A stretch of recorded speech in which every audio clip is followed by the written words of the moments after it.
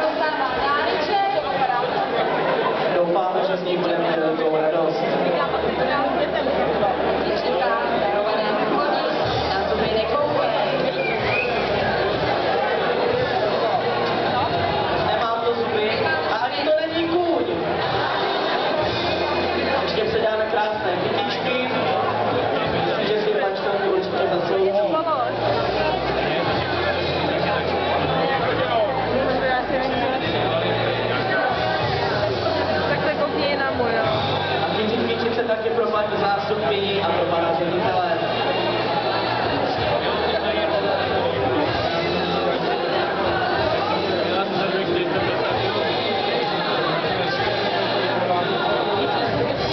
Ještě společná fotečka.